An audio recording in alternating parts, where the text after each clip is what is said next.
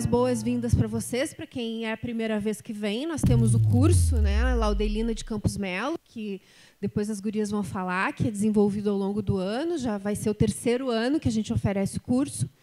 E, uh, além do curso, nós temos feito eventos, debates e uh, discussões a respeito do feminismo. E, diante dessa nova conjuntura política no país, né, com o com a vitória do Bolsonaro e os riscos que isso significa é, para as mulheres, né, já que o discurso de ódio ganhou força e empoderou aí muitos dos machistas que é, é estão promovendo atos de violência contra as mulheres no âmbito privado e também nas ruas, né, a gente tem visto cada vez mais isso acontecer já ocorreu de forma muito intensa na campanha eleitoral, né? depois arrefeceu um pouquinho, mas a gente sabe que quanto mais cresce a nossa luta, a nossa disposição de não aceitar o machismo, a violência, a discriminação, mais eles botam também a sua cabecinha de fora né? e tentam nos intimidar a partir da violência. Por isso, é, a gente achou que era importante também é, oferecer essa, essa, esse outro instrumento de defesa, né? além da defesa política, a defesa também física. Né? E aí é, a Joana tem a sorte de conhecer a Juliana, que é a nossa instrutora, a nossa professora, a nossa mestre, e, e hoje ela vai fazer algumas demonstrações, né? além de falar sobre a história do feminismo e da defesa pessoal. É muito interessante essa visão que ela vai trazer para a gente. E depois uh, esse curso vai também se desenvolver aí ao longo do, do ano para as gurias que estiverem interessadas e tiverem condições de participar eh, do curso todo. Eh, a gente já deixa o convite para vocês, né, para essa participação, não só nas aulas de defesa pessoal, mas nos nossos eventos, nos nossos cursos. E se coloca também à disposição através da nossa uh, advogada. Onde é que ela está? A Gabi, ela é advogada e ela está se propondo também a fazer assistência jurídica para as mulheres em diferentes áreas aí que forem necessárias, né? Ela é uma advogada que trabalha num escritório de advocacia e vai fazer um trabalho voluntário aqui com a gente no, no Emancipa. Então, uh, depois a gente vai estar tá combinando com ela os horários né, de atendimento, mas se alguma de vocês aí já estiver com necessidade de atendimento jurídico, já pode falar com a Gabi aí no final da aula e combinar com ela um encontro ali na nossa sede do, do Emancipa. E, no mais, a gente se coloca à disposição também, eu como, como deputada, agora eu estou ocupando esse espaço importante ali na Assembleia Legislativa, é, para também vocalizar né, as nossas lutas, as nossas denúncias, os nossos, as nossas bandeiras. Então, a gente também está à disposição de vocês aí para esse trabalho político parlamentar lá na Assembleia Legislativa. Então, Joana. Muitos aplausos para nossa diva. É, bom, boa tarde, boa noite quase já a todas. Né? A Lu já deu uma introdução é, do que, vai ser a aula de hoje. Eu sou a Joana, sou coordenadora pedagógica da Emancipa Mulher e foi essa história no final do ano passado, quando eu, Carla e Lu nos reunimos para conversar sobre é, o que, uma, uma, as coisas que a gente queria trazer esse ano, a gente não quis nós não pensamos duas vezes em, em, em, oferecer aulas de defesa pessoal, justamente por todas essas questões aí de aumento na possibilidade de violência, mas também não só por isso, né? Eu acho que foi esse o grande, esse foi o grande casamento aí que teve entre é, a, a, gente pensar nessa ideia e eu conversar com a Ju sobre isso, com a, com a Ju que vai ser nossa instrutora hoje, professora da aula, é, não apenas para pensar nesse momento de violência, mas também para a gente pensar num empoderamento um pouco mais completo, um, um empoderamento que aqui na Emancipa Mulher a gente dá muito valor para o empoderamento intelectual, é uma escola, afinal, feminista e antirracista, na qual a gente, quem, quem tem vários rostos de cursistas que já participaram do curso, vocês, elas sabem muito bem, podem atestar, que a gente realmente invoca bastante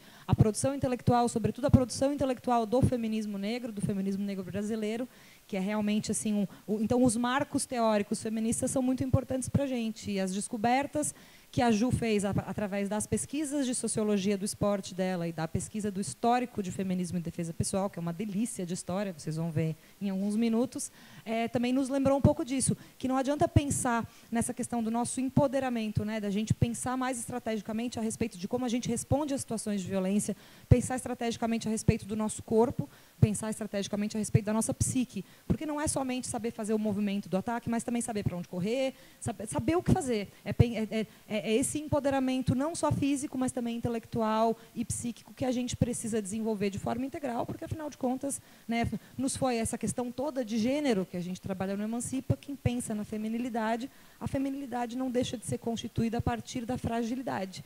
Então a gente pensar também em se constituir, né, em ressignificar essa feminilidade para adicionar um pouco de força, um pouco de estratégia, pensamento realmente é, um pouco mais radical no sentido de proteção do próprio corpo, que seria interessante. E foi assim que se desenvolveu a nossa aula. Quando eu entrei em contato com a Ju, ela me mostrou a aula, eu quase chorei de emoção. Eu falei, nós vamos filmar isso, vai ser bonito.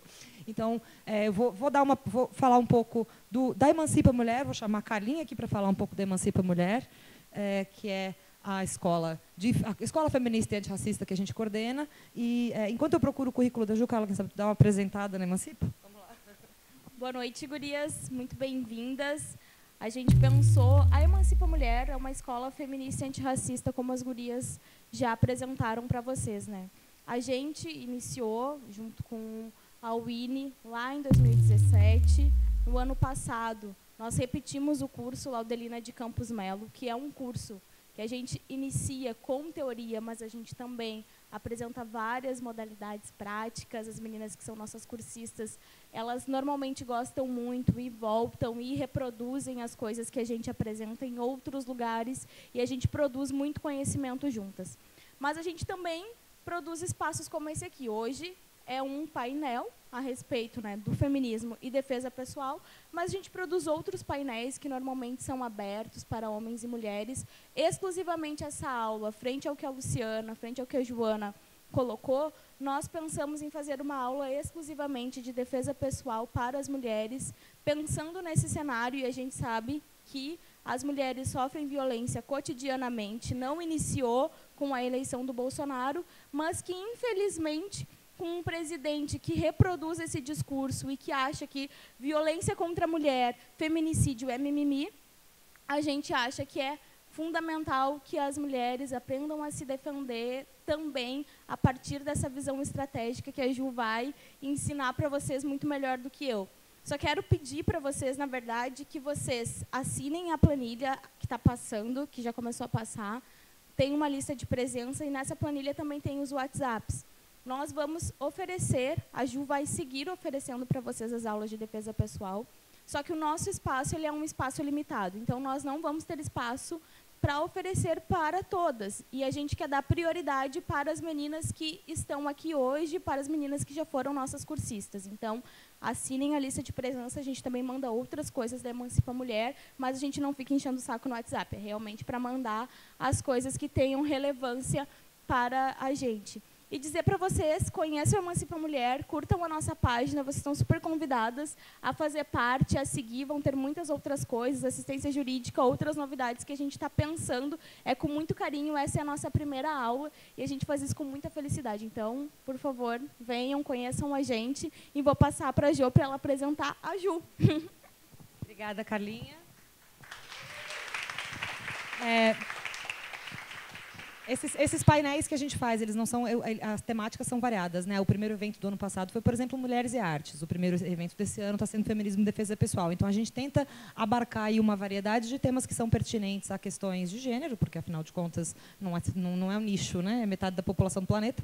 É, então a gente tem que dar uma pensada bastante abrangente a respeito do que fala. Mas é, para vocês ficarem atentas nessas aulas que a Carla falou, as aulas continuam na sede do Emancipa. A sede é na Riachuelo, ali número 1339, sala 1001. Mas se vocês colocarem as informações de vocês no WhatsApp, vocês recebem isso dentro dos telefones de vocês, que faz muito mais sentido. Mas só para vocês terem uma ideia de quando a quando vai o curso. A gente já tem datas marcadas, tá? São duas vezes por mês. É dia 20 de abril, 4 de maio, 18 de maio, 1 de junho, 22 de junho, 6 de julho e 20 de julho. As aulas são nos sábados à tarde, as aulas vão ser com a Ju. O espaço é limitado não, não apenas pelo tamanho do espaço, mas porque a Ju é uma só também, né? não dá para treinar 45 pessoas ao mesmo tempo, ninguém aprende nada, porque, a, como, como a Ju vai ressaltar, é, é, é, existe uma demanda de prática, para que esses exercícios que a gente vai aprender hoje sejam realmente executados com precisão pela gente. Né? Então, a aula de hoje ela vai dar um apanhado geral de algumas técnicas e a Ju vai explicar para a gente por que, ela pensa que o jiu-jitsu é uma maneira boa de se pensar em defesa pessoal, porém, exige prática, exige uma repetição aí até o muscular, até o corpo adquirir memória a respeito desses movimentos. Então, por favor, não esqueçam de botar os números de vocês na, na lista, tá? porque realmente, assim, assim que a gente abrir as inscrições, que vai ser lá por, pelo começo de abril, vocês serão as primeiras a receber. Então, dá para garantir a vaga com mais, com mais certeza. Assim, tá? É, bom, sem mais delongas, então, para apresentar a Juliana Campos. Como a Luciana falou, a Ju é minha amiga, nós somos amigas há muito tempo, é, e ela é advogada, né? além, além de ser é, professora de aulas de defesa pessoal, ela é advogada, acho que antes mesmo de ser professora de, de, de defesa pessoal, ela é advogada. A Ju é faixa azul de jiu-jitsu, uma modalidade da qual ela pratica, é, a qual ela pratica há cinco anos, né? e ela é idealizadora do Jits Time. Vocês notem que teve, teve um movimento ano passado do It's Time, tipo, tipo chega, basta. Né? Foi daí que veio o nome, eu imagino.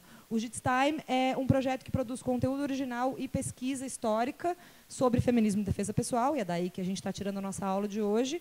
E a ideia do projeto, a ideia da Ju e a ideia da gente estar tá aqui também tendo chamado a Juliana Campos para fazer essa aula é realmente trazer, encorajar mais mulheres a se aproximar das artes marciais. Eu vou, eu, é, nessa aula aberta específica, a Ju vai contar para a gente a história feminista por trás de uma das lutas mais populares do mundo, que é o jiu-jitsu, que é, é, muito conhecido, é, sobretudo por ser uma tradição bastante forte aqui no Brasil, mas a gente vai aprender que as feministas chegaram no jiu-jitsu muito antes dos Gracie, o que é sempre muito gostoso, né? descobrir essas coisas e contar essas coisas. É, mas para vocês terem uma noção da potência que é a Juliana, eu, eu sou o meu esporte favorito é levantamento de controle remoto, tá? E eu estou fazendo jiu-jitsu. Então, eu, eu realmente entendi o que ela quer dizer com essa aula. Foi, e começou depois dela começar a me mostrar essa aula. Então, realmente, assim, existe aí um encorajamento muito grande para além de hoje, para a gente pensar a respeito da gente mesma a longo prazo e fazer esse empoderamento de forma um pouco mais integral. Então, espero que vocês curtam bastante a aula. Não esqueçam de assinar a lista que vai estar passando por aí. Vou passar o microfone agora para a Juliana. Espero que seja uma boa noite para todas vocês. Muito obrigada.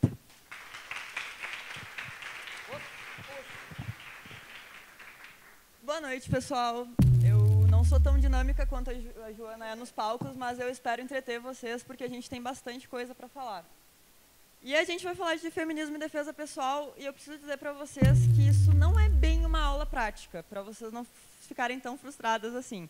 A gente vai ver a parte prática, sim, só que antes da gente chegar aí, a gente precisa entender algumas outras coisas, porque o que eu quero falar sobre feminismo é sobre pensamento estratégico dentro da defesa pessoal. Bueno, quando a gente imagina uma aula de defesa pessoal, o que, que vem na cabeça de vocês? Vocês já fizeram aula de defesa pessoal alguma vez? Nunca? Ninguém?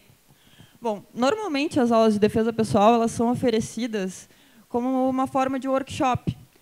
E lá na época das eleições, no ginásio, que é a escola de artes marciais que eu faço parte, muita gente veio nos perguntar se a gente tinha aulas de defesa pessoal, se a gente promovia aulas de defesa pessoal, porque as pessoas estavam com medo Diante disso, a gente resolveu abrir duas formas de ajudar essas pessoas. A primeira delas foi através de uma aula aberta de resistência, e a segunda foi liberar todas as modalidades para as pessoas praticarem. Vocês vão entender por quê.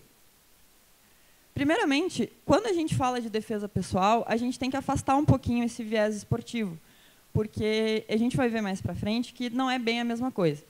Em segundo lugar, porque antes de entrar na parte prática, a gente tem que considerar várias coisas, como que a gente vai estar tá nesse dia que a gente não consegue prever, que roupa a gente vai estar, tá, em que ambiente a gente vai estar, tá, enfim. Então, essas aulas de defesa pessoal que oferecem numa modalidade mais ou menos de workshop, no encontro que tem de duas a três horas, normalmente é um professor que dá essas aulas, é um homem que, que, que, que, que apresenta esses movimentos, que normalmente envolvem quedas, golpes e simulações de agressão. Mas eu pergunto para vocês, em uma aula, vocês acham que isso basta? Isso vai ser suficiente para a gente se defender numa situação de agressão? É por isso que a gente está aqui hoje, porque isso não basta. O que a gente quer fazer aqui é buscar um empoderamento, é buscar uh, fazer isso de uma forma diferente, é promover essas três coisas: resistência física, resistência verbal e resistência psicológica. E para isso a gente tem que fazer várias reflexões. A gente vai falar muito de estratégia aqui, porque o pensamento estratégico ali, quando eu, quando eu fui entrevistada antes da aula, me perguntaram se é melhor uh, reagir ou, ou, fugir, se é melhor uh, se defender ou sair correndo. E depende, não tem uma resposta certa para isso. Depende do que, que a gente sabe fazer com as ferramentas que a gente tem. Então, tudo mais ou menos é sobre estratégia. E essa imagem do xadrez eu trouxe porque a gente vai entender depois o que, que o jiu-jitsu tem a ver com isso. Mas antes de eu pensar sobre isso no ginásio, antes de eu, de, de eu ter essa noção de que não bastava só uma aula de defesa pessoal, tem muita gente pensando sobre isso. E tem uma socióloga pensando sobre isso, que é a Jocelyn Hollander. Ela fala várias coisas sobre a defesa pessoal. A primeira delas é que justamente a defesa pessoal não pode ser só um amontoado de técnicas, porque isso não se mostra eficaz na, na, na hora H ela fala que então a gente precisa ser empoderada e estimulada a pensar, em primeiro lugar, por que, que a gente está buscando a defesa pessoal. E ela destaca uma outra coisa bem importante. A defesa pessoal é uma redução de danos, gente. Não é a defesa pessoal que vai diminuir a violência contra a mulher. Na verdade, a gente só vai ter uma forma de lidar com uma situação que é horrível para a gente. E é a gente, somos nós mulheres que estamos pensando nisso. Somos nós que estamos buscando defender, porque somos nós que estamos sendo atacadas. Então é isso que eu quero fazer hoje aqui, antes de entrar em um monte de técnicas e posições que são muito legais, afinal eu amo fazer isso, eu faço jiu-jitsu há cinco anos. Mas antes de tudo isso, eu quero refletir um pouco com vocês, para daí a gente seguir o baile e entrar na parte prática da coisa. Então, a primeira reflexão de hoje é sobre violência de gênero, e eu trouxe uns dados bem alarmantes para nós. Esses dados são do Anuário Brasileiro de Segurança Pública, ele foi publicado em 2018 e ele se refere ao exercício de 2017. Em 2017, foram mais de 200 mil casos de violência doméstica.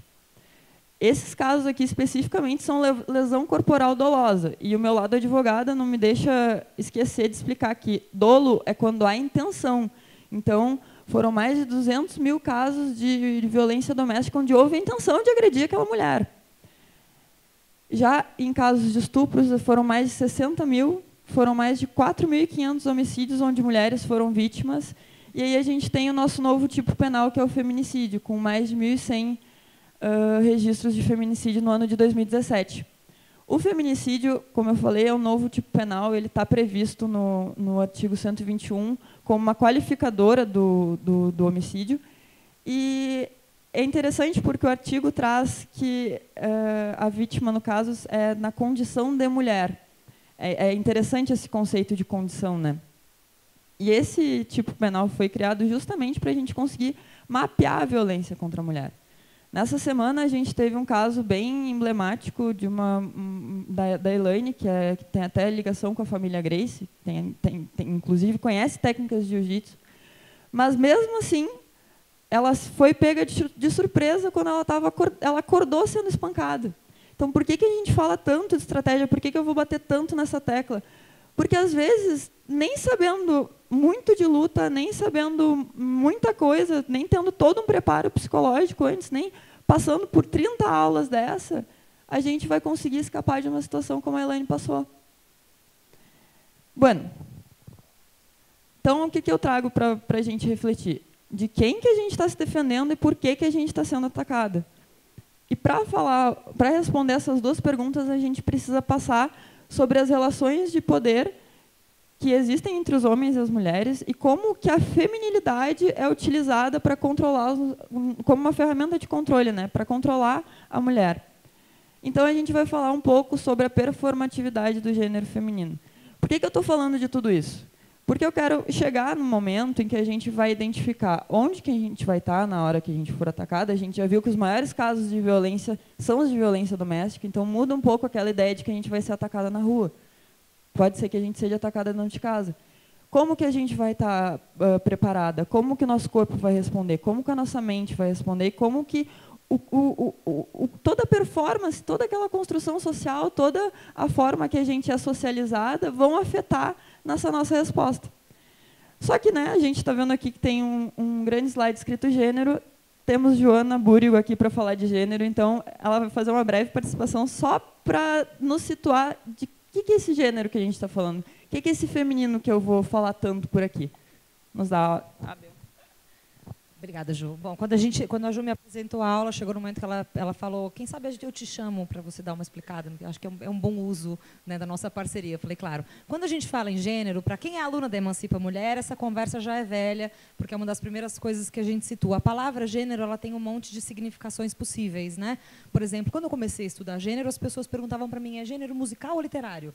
Então, a primeira coisa que a gente tem que tirar da frente é que a palavra tem a palavra gênero na língua portuguesa tem um, na, na língua portuguesa tem dois usos usos e um deles, que é o, o qual a gente está partindo, que não é esse de gênero musical literário, ele também tem mais de um significado. Gênero pode ser tanto uma ordem social, ou seja, essa hierarquia que a Ju mencionou, né, e é uma hierarquia machista, é uma hierarquia na qual os homens estão em, em posições de vantagem barra privilégio em detrimento das mulheres. Então, essa é a ordem de gênero. Claro que a gente, pensando em ordem de gênero, a gente não se restringe a esse binário homens e mulheres. A gente sabe que existe um espectro né, de gênero que é muito mais amplo e muito maior e que essa violência também afeta é, pessoas que não se conformam aos seus, a, a, a esse binário de gênero certo? Então, homens afeminados ou mulheres trans, por exemplo, elas entram nessa conta disso que a gente chama de violência de gênero, certo?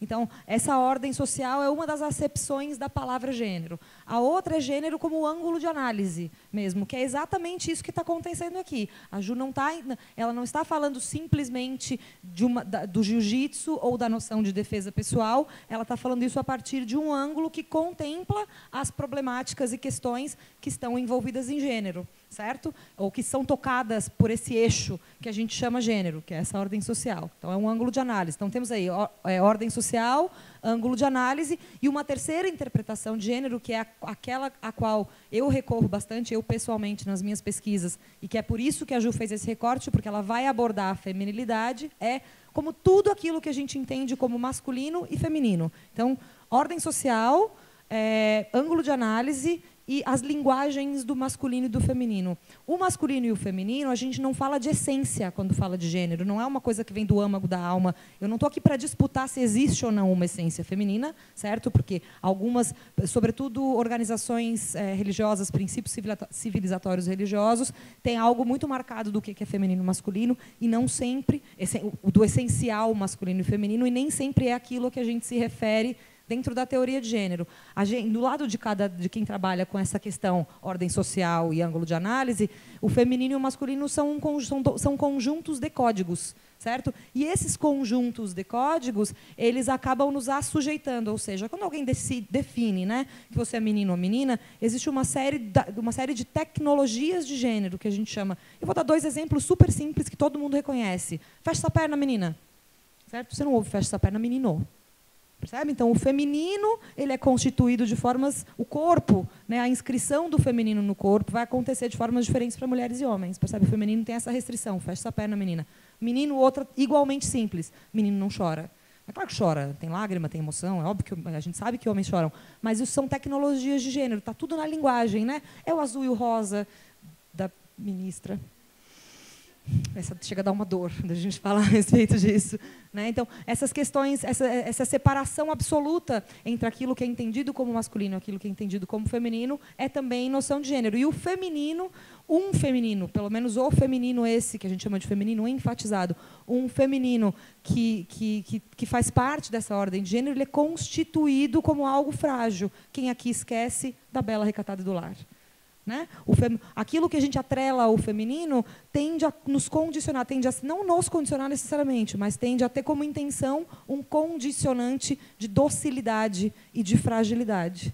Então, vocês entendem por que é importante a gente situar de qual feminino que a Ju está falando aqui. Porque quando a gente fala né, feminino, não é que a gente. Meus batonzinhos me deixa certo? Aqui a perua de brinco e sandália de, de brilho dourado. Então não é não é para bater no feminino de ninguém, é para a gente entender que o feminino como como como é, como norte, certo? Como como algo que nos assujeita, ele está sim entrelaçado com questões de fragilidade, docilidade, fraqueza, é, excesso de emoção, né? Que são coisas que efetivamente nos afastam, né? A gente a gente é assujeitado, a gente faz essa performatividade de gênero sem saber muito bem como se defender, sem saber como gritar. De novo, vou puxar um caso que é. E olha que eu sou feminista, engajada, tô faz, tipo, estou aqui organizando essa aula. Na aula de jiu-jitsu que a gente fez ontem, eu fiz, né, eu fiz o rola com a ajuda, eu bati nela com um pouco de força, dei um beijinho nela. Ela, ela meu, para, te defende. Né? Isso é muito do feminino, dessa coisa de ser doce. Ai, desculpa. Que desculpa? Está numa aula de jiu-jitsu, está louca? Entende? Então, isso, a gente naturaliza essas questões do feminino e não se dá conta. Então, é esse feminino frágil, dócil, que nos ensinam, que nos afasta na nossa própria potência corporal, que a Ju vai estar criticando aqui. Ninguém precisa deixar de usar batom, tá? Tá, tá tudo tranquilo. Então, tá bom assim? Vamos devolver o microfone para a professora. Outro nível, né, gente? Para falar de gênero não tem pessoa melhor. E é, é, bem isso que a Joana falou que é, é, interessante, porque normalmente quando as gurias começam a praticar jiu-jitsu, nas primeiras aulas, a gente identifica aquela dificuldade de pegar firme, de bater. É, no, quantas vezes eu já vi dentro de uma academia e quantas vezes em primeiras aulas me pediram desculpa. Ai, desculpa, te derrubei. Ai, desculpa, te bati. Gente, a gente está treinando para isso. Quanto mais forte tu bater em mim, quanto melhor tu aplicar o golpe, mais feliz eu vou ficar. Porque o que eu quero é que se tenha firmeza, porque o que eu estou tentando mostrar aqui é que essa socialização que a gente passa acaba nos atrapalhando nesse meio do caminho, acaba fazendo com que a nossa, a nossa, nossa caminhada dentro das artes marciais seja um pouco mais demorada. Mas antes disso, antes das artes marciais, eu trouxe alguns, algumas, algumas propagandas da, do, do meio do século passado para a gente também continuar situando esse feminismo, né? Nessa primeira, uh, é uma. Eu vou até passar para o lado de cá para a gente poder olhar melhor. Essa primeira é uma propaganda de, de pasta de dente. E ela, ela fala que existe uma outra mulher esperando para cada homem e que ela é muito esperta para ter bafo. Gente, por favor, né? Muito obrigada. A segunda, que já é uma, é uma propaganda de gravatas para o homem, não tem pudor nenhum. Fala que mostre para ela que é um mundo de homens. Gente, isso circulava no meio do século passado. Isso não é antigo. Isso, isso na verdade, é quase atual. E a, a terceira ali é uma propaganda de eletrodomésticos que fala que assim a vida é melhor, porque a vida da mulher seria muito melhor com um monte de eletrodomésticos. Ela está de salto alto e vestido pronta para fazer a faxina, porque é assim que a gente faz faxina na casa. Né? Tem mais uma que, que é só para não perder esse clima de, de, de, ironizar essas propagandas, porque, por favor, né? Nessa aqui é uma propaganda de meia calça e ela questiona: casada? Não há razão para negligenciar a aparência de sua meia calça. Os maridos admiram esposas que mantêm as suas meia calças intactas. Vejam bem, gurias, vamos cuidar das meia calças daqui para frente, porque o marido pode ficar incomodado. O que, que eu quero dizer com isso? Para quem que é esse feminino? De quem que é esse feminino? Para quem que a gente está olhando nessas propagandas? Vocês veem que as propagandas são voltadas para públicos diferentes. Tinha propaganda para mulher, tem propaganda para homem, mas a gente acaba olhando para o mesmo lugar, né? Então, aí que a gente chega numa, na primeira reflexão específica que é sobre as roupas. As nossas roupas, as roupas femininas, historicamente, isso tem uma razão histórica, elas são feitas para serem bonitas e para nos manterem, para nos fazer parecer pequenas, para nos fazer ser mais delicadas, inclusive para limitar os nossos movimentos. Já as roupas masculinas, por outro lado, elas são feitas puramente pela funcionalidade. Elas são pensadas para ter uma amplitude de movimento e isso fica secundário nas roupas das mulheres. E Daí eu trouxe alguns exemplos de, de alguns vestidos, já que a gente está falando da, da, metade do século passado, mais ou menos. E eu não estou, como a Joana disse, eu não estou questionando se isso é bonito, se isso é feio. Mas e na hora de correr? Na hora de lutar? A, a roupa que a gente está usando, ela vai ser um, um, dos obstáculos ou não da nossa, da nossa defesa. O sapato que a gente vai estar tá usando, a calça que a gente vai estar tá usando, isso tudo vai ter ligação com a nossa capacidade de sair daquela, de, de nos defendermos, enfim, já que a gente está falando de defesa pessoal, né? Então, partindo desse princípio de que a gente vai, em algum momento, ser agredida, essa limitação de movimentos das roupas tem que ser considerada para que a gente tenha consciência. Não estou convidando vocês a repensarem o guarda-roupa todo, não, não, não é isso. Mas é importante ter a noção que pode ser que algumas coisas acabem sendo mais, mais um obstáculo para a gente enfrentar. Isso tem que ser considerado, porque lembrem que a gente está falando aqui de estratégia. Tudo aqui é sobre estratégia. Jiu-jitsu é sobre estratégia, defesa pessoal é sobre estratégia. E pensar nas nossas roupas também. Eu trouxe a falta de bolsos no slide específico, porque tem uma história interessante sobre a falta de bolsos. Vocês já devem ter percebido né, que as nossas calças trazem, às vezes, esses microbolsos, que não servem para absolutamente nada, ou aqueles famosos bolsos de mentira, que é um pouco pior, né? Isso tem uma história e lá na época do, do antigamente, quando a gente usava vestidos ainda, as mulheres não tinham muito pertence, muitos pertences. Na verdade, a mulher não deveria nem estar saindo de casa naquela época. Ela era convidada a permanecer dentro de casa. Spoiler esse slide, que não era para estar, estar nesse slide ainda. Mas quem nunca, né? Mas, enfim, é, essa falta de bolsos, quando, na época da Revolução Industrial, as mulheres passaram a ir para o chão de fábrica e precisaram se movimentar mais, que elas passaram a utilizar calças, as calças eram usadas, que eram usadas pelas mulheres nessa época eram as calças dos homens. Então, elas estavam lá com os bolsos bem grandes para carregar tudo que os homens precisavam carregar, afinal, homens. Quando a moda feminina trouxe essa trou, trouxe a calça para a moda feminina, tirou da, do, da moda masculina e trouxe para a moda feminina, automaticamente os bolsos foram retirados, re, re, retornando para aquela ideia de que a mulher não teria muito o que carregar, ou pensando que talvez a gente teria que carregar bolsas e nos incentivando a comprar bolsas e tudo mais. Então, essa cena do, do, do celular caindo é um clássico. Quem, quem nunca tentou colocar um, meu celular não serve no meu bolso? E por termos bolsos limitados e pouco lugar para carregar nossas coisas, a gente acaba tendo que usar bolsas. E a bolsa, ela é carregada na mão muitas vezes. E às vezes levar uma bolsa pode se tornar um facilitador para o agressor se dar conta de que a gente está com as mãos ocupadas e dificultar a nossa possibilidade de reagir. Outras, outras coisas que podem complicar a nossa vida sapatos delicados demais ou altos demais. E aqui eu incluo chinelo, que não é, não é muito delicado nem alto, mas chinelo arrebenta fácil e correr de chinelo é bem perigoso. Então, cuidem, cuidem quando, quando saírem na rua, pensem onde vocês vão. Sempre tentem ter esse viés estratégico mesmo, de pensar. A gente, te, a gente vive num mundo violento, a gente viu os dados, né? Então, uh, os números nos mostram que a gente está uh, predisposta a ser agredida. Então, pensem nisso quando, quando forem escolher o outfit para sair de casa, porque é uma realidade que é por isso que a gente está aqui hoje. Né? E também eu coloquei as saias aqui, porque saião pode atrapalhar, saia justa também atrapalha. Enfim, a moda ela, feminina ela acabou sendo desenhada para nos limitar. A ideia é essa. Hoje a gente já tem outras marcas que já estão pensando nessa moda gênero, e isso é muito legal. Mas é bom ter essa consciência. Né? Lembra que a gente está falando de ferramentas de controle, né? de como as estruturas machistas usam a feminilidade como uma ferramenta de controle. Isso também passa pelo nosso corpo. E então vamos dar uma olhadinha no que eu trouxe aqui para a gente falar de corpo. As artes marciais, já que é o assunto, o assunto de hoje é defesa pessoal e a gente está falando de artes marciais, elas são oferecidas para a mulher também de uma forma bem curiosa. Eu trouxe algumas notícias de umas manchetes de portais de notícias para a gente analisar, porque é para a gente rir mesmo, gente. A ideia é para a gente dar uma descontraída. Então vamos lá. Luta para a mulher. Quatro aulas que vão fazer você emagrecer e ficar com o corpo sarado. Defesa pessoal. Quatro movimentos básicos para detonar as calorias.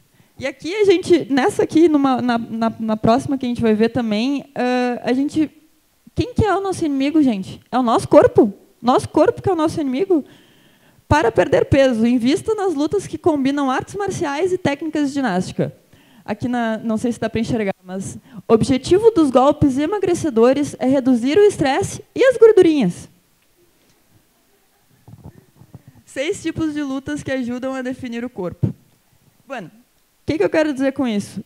Que estão que estão nos convidando a praticar artes marciais, que a gente está sendo eh, inserida dentro do mundo da arte marcial ou da defesa pessoal, porque aquelas aquelas aquelas notícias falavam também de defesa pessoal, pensando que nosso inimigo é o nosso próprio corpo. Não dão cara para o nosso inimigo.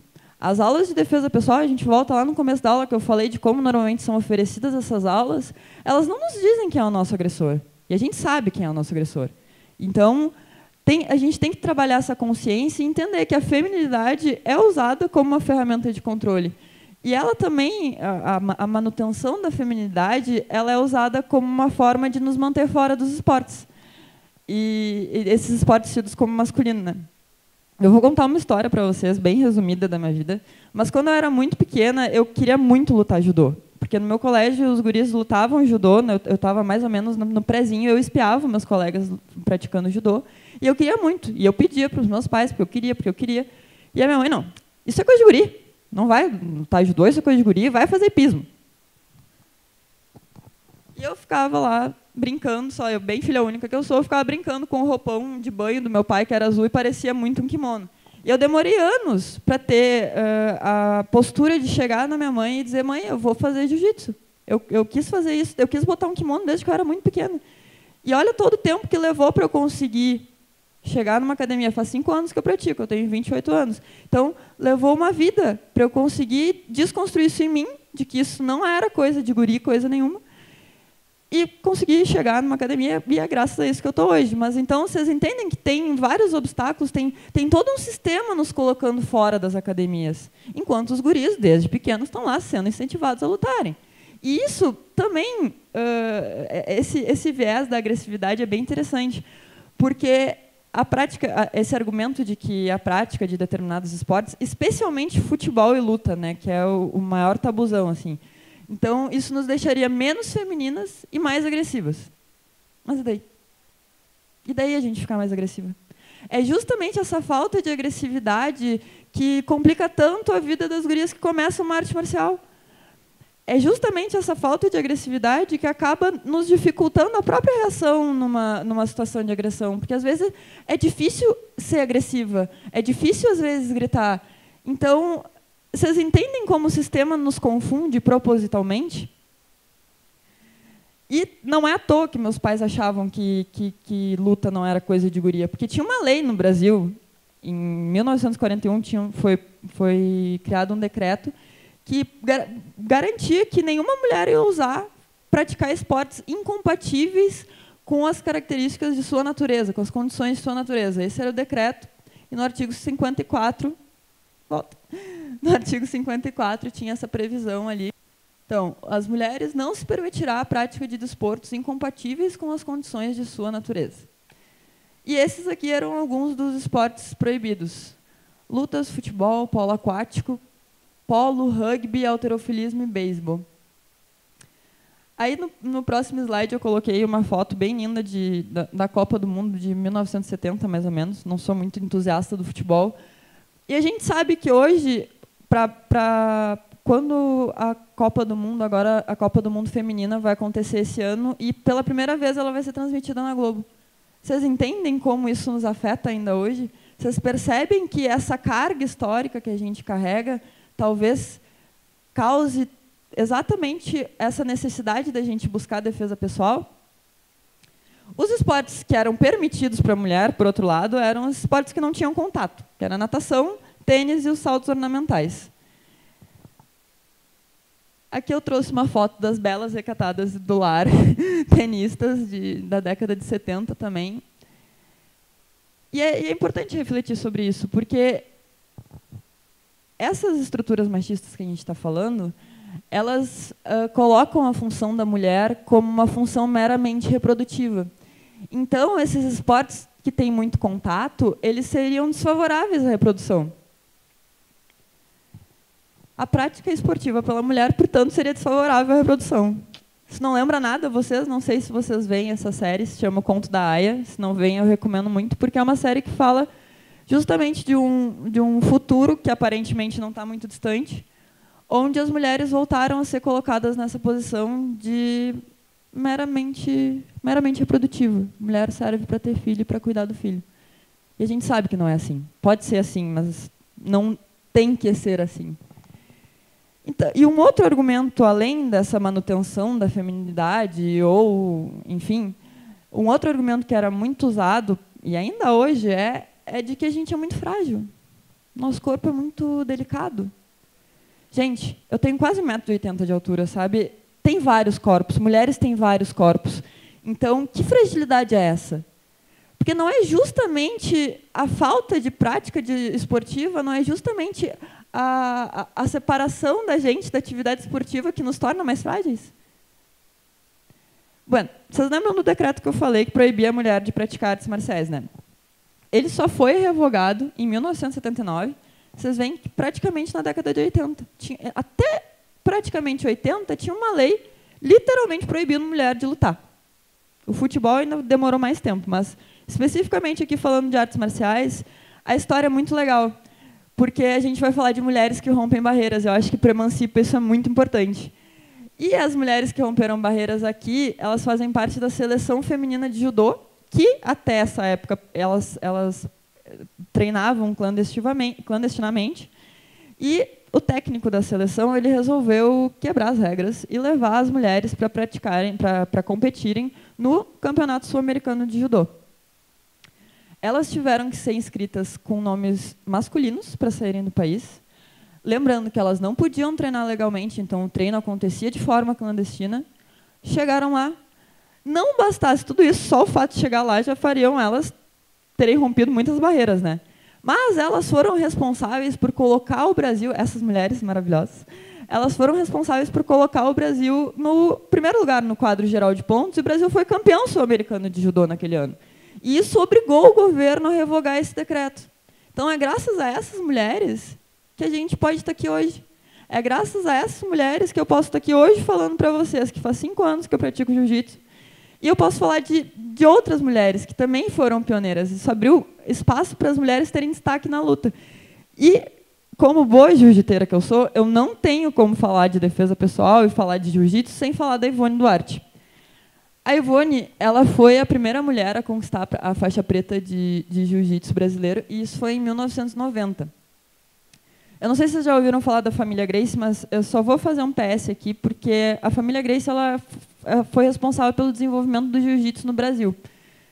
E não foi uma Grace que foi a primeira mulher a pegar a faixa preta. Isso diz muito sobre como o jiu-jitsu foi difundido aqui, como tinha uma estrutura machista naquela época, para que só em 90 a Ivone conseguisse ser, ser consagrada com a faixa preta. Né? Mas, além disso, a Ivone, como se não bastasse, ela é ativista de direitos humanos e desde o ano passado ou retrasado, ela começou a dar aulas curriculares na Universidade de Brasília de defesa pessoal. Isso aconteceu por causa de uma demanda dos próprios alunos, porque uh, rolou alguma, algumas situações aconteceram na Universidade de Brasília bem complicadas, que envolviam estupro, que envolviam agressão à população LGBT da faculdade. Então, os alunos buscaram e a, e a Ivone se disponibilizou a dar uma aula curricular para esses alunos que se sentiam alvos de ataques LGBTfóbicos, racistas e machistas. E eu trouxe para a gente dar uma olhada uh, um trecho de uma entrevista dela, que ela fala justamente sobre o que a gente está falando aqui, que é esse viés também psicológico que a defesa pessoal tem que, tem que nos proporcionar. Eu vou ler, mas eu convido que vocês leiam junto. Né? A ideia da defesa pessoal, a ideia da defesa é parar o ataque, evitar a agressão física e os danos físicos e emocionais que possam acarretar as pessoas em situação de vulnerabilidade ou de perigo iminente. Vocês percebem que isso foge do padrão da defesa pessoal que normalmente é nos, é oferecido e, e, é uma mulher que está dizendo isso, é uma mulher pioneira que está nos dizendo isso, nos dizendo para olhar para a psique, para olhar para o viés psicológico antes da gente entrar e começar a falar de técnicas. Além disso, a Ivone ela apontou uma coisa muito importante, e isso sim é muito responsável por manter as mulheres fora dos tatames e dos esportes, que é a dupla jornada. E essa dupla jornada, vários estudos e pesquisas já nos comprovaram que ela tem impacto não só na saúde física da mulher, mas também na saúde mental. E é justamente são justamente os esportes que nos ajudam a, a, lidar melhor com a nossa saúde mental. Eles, eles, eles têm um benefício direto na saúde mental. E é aí que a gente chega na ideia de trazer o jiu-jitsu para a aula de hoje. Jiu-jitsu é minha paixão, como a Joana falou quando, quando ela me apresentou. Faz cinco anos que eu pratico e a, a parte mais legal do jiu-jitsu é que ele não depende de força. A gente vai ver isso mais, mais para frente um pouco. Mas antes eu preciso falar que a gente vai falar do jiu-jitsu no sentido amplo. Porque, historicamente falando, o jiu-jitsu surgiu lá na época dos, dos samurais. E olha, olha o viés de defesa pessoal aí, porque os samurais eles adaptaram o jiu-jitsu porque quando eles estavam lutando com armas e as armas se perdiam no meio do caminho e eles ficavam sem armas, eles precisavam de uma forma eficaz de continuar lutando. Como eles usavam armaduras, essas armaduras dar um soco e um chute numa armadura não parece muito inteligente, né? Nem muito eficaz. Então, justamente por isso, porque as armaduras eram muito duras e difícil de, era difícil de dar golpes contundentes nessas armaduras, que começou a se desenvolver esse jiu-jitsu que envolve alavanca, que envolve técnica de queda, que envolve uh, torção nos braços, torção nos, nos, membros e principalmente submissão. Então, o jiu-jitsu ele nos fala de novo sobre estratégia, porque a, a, a, o jiu-jitsu nos ensina que ele nos ensina a usar a melhor estratégia para controlar nosso nosso oponente. Então, Jiu-jitsu fala muito sobre controle, sobre controlar a pessoa, sobre uh, dominar ela. Não significa que eu quero causar uma lesão grave, mas eu quero ter o controle daquela situação. E é por isso que eu trouxe ele como uma, uma boa alternativa de defesa pessoal. As técnicas que eu já falei, que são quedas, torções, alavancas, estrangulamentos, a gente vai ver estrangulamentos em específico hoje. Uh, principalmente estratégia. Lembra do xadrez de antes? O jiu-jitsu é conhecido como xadrez humano. Porque é justamente esse ciclo que a gente entra, que eu tentei explicar para a Joana quando, a gente, quando eu apresentei o jiu-jitsu para ela, que é eu, sab, eu saber a técnica num ponto que eu sei qual é a minha, o meu ataque, eu sei qual é a tua defesa, eu sei o que, que eu quero fazer depois e eu também sei, se não der certo o que eu quero fazer, qual vai ser a minha alternativa. Então, eu estou traçando estratégia. Enquanto que o uso da força no jiu-jitsu é coadjuvante. Isso é, é outra coisa comum de academia, que enquanto as gurias têm muita dificuldade para fazer essa parte mais agressiva, isso estou falando de modo geral, tá, gente? Não, é, é uma regra que permite exceções. Os guris já não. Nas primeiras aulas de jiu-jitsu, os guris se mostram extremamente agressivos e usam muita força. E daí eu falo, não precisa usar força, usa técnica. A gente aprendeu a técnica. Eles seguem usando a força. Isso também atrasa eles, então isso é uma vantagem para nós. Apesar de ser muito mais trabalhoso lidar com literalmente um touro se mexendo ali, fazendo muita força e não usando nada de técnica, porque é uma visão bem contraproducente de entender o jiu-jitsu. Então, essa é uma, uma imagem de duas meninas praticando jiu-jitsu. Essa técnica se chama americana. E se a mãozinha daquela moça que está embaixo não bater na moça que está em cima, provavelmente a gente vai ter uma lesão no ombro ou no cotovelo, se essa, se essa coisa continuar acontecendo dessa forma. Que é isso que o jiu-jitsu faz. Uma outra coisa interessante sobre o jiu-jitsu é que a gente pode treinar as ganhas. A gente pode fazer realmente uma simulação de luta, diferente de outras artes marciais, como o boxe, como o muay thai, que a gente não consegue ter essa real dimensão de como a gente vai se comportar na luta, porque a gente não pode sentar porrada no coleguinha, né? Basicamente, no jiu-jitsu, a gente meio que pode fazer isso, porque é, a gente vai ter essa possibilidade da pessoa sentir o que vai, vai, vai causar a torção, vai, vai pegar aquele movimento, é só bater. Mas, ainda assim, a gente consegue usar toda essa, essa estrutura estratégica para chegar nesse momento que a pessoa vai bater. Então, a parte legal dessa pesquisa toda, de, de, de, de ler sobre o jiu-jitsu, de ler sobre a defesa pessoal e pesquisar sobre isso, é descobrir que o Gil e a defesa pessoal eles se encontraram muito antes do, do jiu-jitsu chegar no Brasil, mais ou menos na mesma época, na verdade, que foi no final do, do século XIX. Eu trouxe algumas imagens uh, de um livro de defesa pessoal para mulheres de 1914. É um livro japonês e essas imagens são que eu treino com a Dani todo dia. A gente faz isso todo dia. Nem sempre são todas essas posições, mas isso é atual, gente. Por mais que seja de 1914, isso é tão eficaz que até hoje a gente faz a mesma coisa. Então, na primeira posição lá, um estrangulamento muito parecido com o que a gente vai ver hoje. Aqui embaixo, o uso das pernas para distanciar o oponente, que a gente também vai ver hoje. Uma chave de braço e uma queda. Então, uh, o jiu-jitsu já era visto nessa época como uma boa forma de defesa pessoal para as mulheres. E ele ainda é visto hoje assim, por vários motivos, mas segura lá. Aqui a gente chega na parte que deixou a Joana mais feliz e contente, que é o encontro do jiu-jitsu com as sufragistas. Por quê? Nessa mesma época desse livro que a gente estava olhando, as sufragistas britânicas estavam na luta pelo direito de voto, né? porque nem isso a gente podia fazer. Aqui a gente tem mais um monte de mulher que rompe barreira, mas eu vou falar especificamente de uma que é a Edith. A Edith Garrod, ela foi uma, uma, a primeira mulher a ser profissionalmente instrutora de artes marciais. E eu trouxe a altura dela aqui porque isso é um detalhe importante.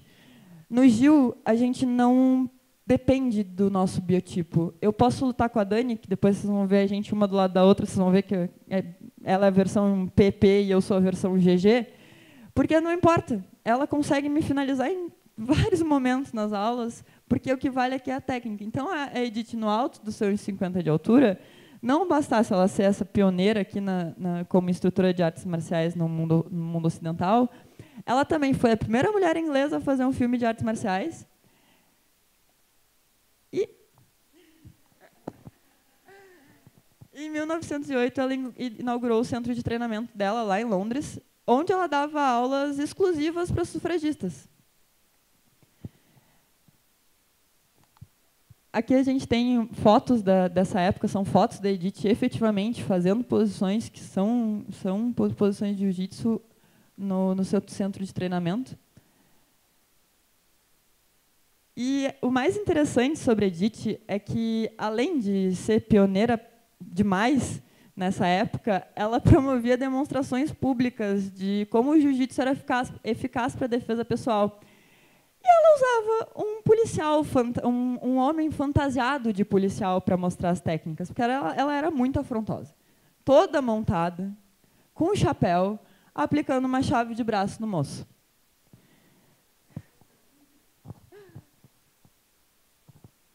Volta lá, volta lá nas fotos. É, essas, essas fotos são, essa sequência é maravilhosa porque ela, ela consegue fazer uma queda, derrubar o cara e aplicar uma chave de mão. A chave de mão a gente vai ver na prática também como que ela pode nos ajudar. Além de tudo isso, como se não bastasse tudo isso, que ela já é uma mulher incrível, a gente, que ela é uma mulher incrível, a gente já notou, né? Ela era responsável por treinar o bodyguard, que eram as seguranças, as, as responsáveis pela segurança das manifestações das sufragistas. O bodyguard usava o jiu-jitsu como, como uma forma de contrabalancear essa inferioridade numérica e também, às vezes, física. Né? E elas escondiam as armas delas debaixo dos tatames do centro de treinamento da, da Edith, porque né, essas sufragistas britânicas elas revolucionaram a forma de fazer manifestações. Elas começaram a, a, a fazer manifestações mais violentas. Então, aqui tem algumas fotos dos treinamentos delas. Pode passar. Então, é, é, foi isso que as, que as sufragistas fizeram. Ela, a Edith percebeu que o jiu-jitsu era uma boa forma de, de, de se defender, porque o que, que acontecia? As sufragistas estavam lá fazendo as suas manifestações em, em praça pública, uh, tentando lutar, lutar pelo seu direito de votar. Não, não era nada demais, era só o direito de votar. E ainda assim, além da polícia, que a polícia também treinava jiu-jitsu, mas além da polícia, os próprios homens da sociedade se sentiam no direito de tirar aquelas mulheres à força das manifestações. E o jiu-jitsu servia nessas horas. Então, uh, a gente pode concluir que o, o jiu-jitsu foi uma importante ferramenta para que as sufragistas avançassem nessa luta de, pelo direito de voto, e a gente, hoje em dia, a gente pode votar. Né? Acontece como aconteceu nessas últimas eleições? Acontece, mas pelo menos a gente tem voz. Então, em situações reais de agressão, vamos entender como é que o jiu-jitsu se mostra eficaz? Agora a gente vai para a parte prática. Eu vou chamar a Dani para me ajudar, que ela treina comigo.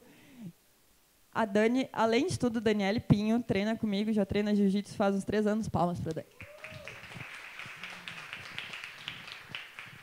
E a Dani faz comigo Jits Time. Quem puder seguir a gente no Instagram, a gente faz, tenta produzir conteúdo relacionado a jiu-jitsu, feminismo, artes marciais e produzir conteúdo original para que as mulheres possam se interessar mais sobre o jiu-jitsu.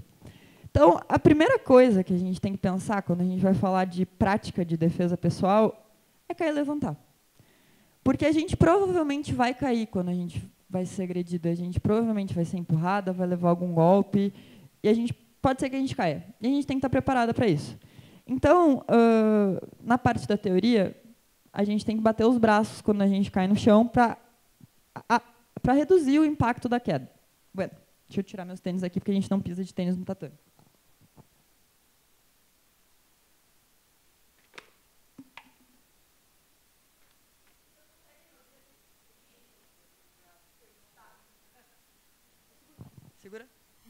Eu vou empurrar a Dani, ela vai cair, ela vai fazer o amortecimento de queda, que é o que a gente treina desde o dia 1 no jiu-jitsu até o dia para sempre, porque a gente treina isso sempre antes de começar as práticas. Então a primeira coisa vai ser esse amortecimento de queda. Eu vou empurrar de verdade.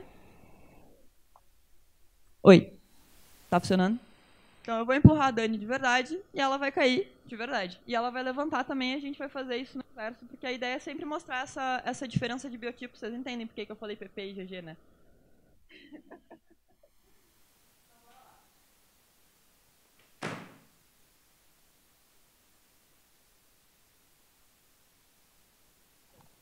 Vocês percebem o movimento? Eu sei, por, por isso que eu falo que uma aula de defesa pessoal não pode acontecer em um dia. Eu preciso que se entenda. A Joana já fez umas três aulas de jiu-jitsu, né? E ela ainda não está bem, não sacou ainda direito como é que faz isso. Então não adianta eu passar esse monte de prática só para a gente se machucar hoje, caindo, levantando, caindo, levantando, caindo, levantando.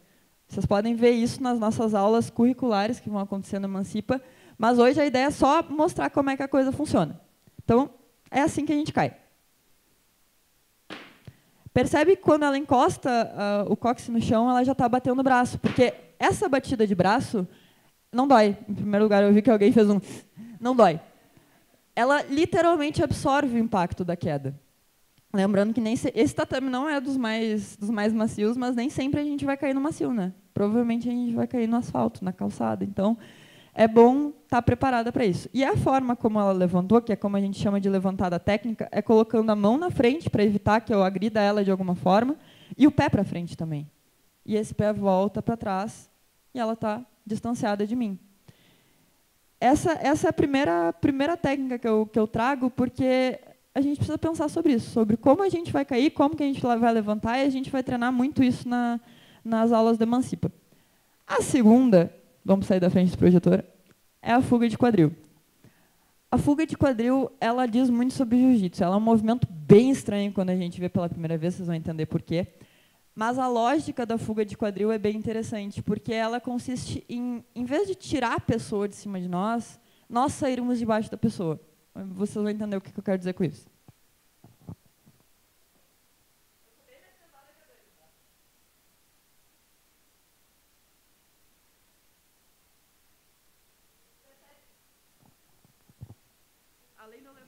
Além de eu levar o cabelo da Dani embora. Pode acontecer. É, é, real, acontece. Mas a fuga de quadril, então, é isso. É, eu, eu pesando em cima dela, porque esse, esse movimento que eu estava fazendo, de pesar em cima da Dani, a gente chama de 100 quilos. Porque é a sensação de ter 100 quilos em cima da gente. Esse, é, esse tipo de submissão envolve necessariamente fazer a fuga de quadril. Ela não me levantou. Ela não precisa usar a força dela para me levantar ela usa o espaço que ela abriu, ela abriu um espaço e saiu de baixo. Vamos de novo.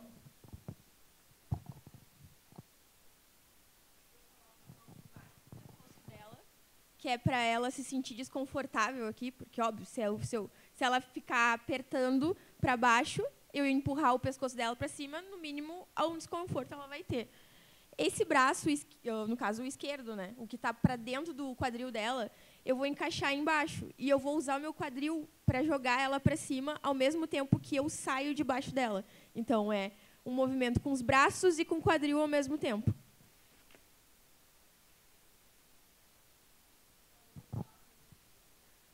O quadril dá uma leve viradinha, uma leve subidinha. É bem isso. Uh, a fuga de quadril a gente treina muito. É, é, a gente vê a fuga de quadril muitas vezes no Gil, em muitas posições, em muitos movimentos. E a gente começa a fazer na cama dormindo. Para se virar, depois de certo tempo de prática de jiu-jitsu, a gente começa a se virar na cama fazendo fuga de quadril. Isso é bem real. Se tu sentiu esse sintoma, Joana.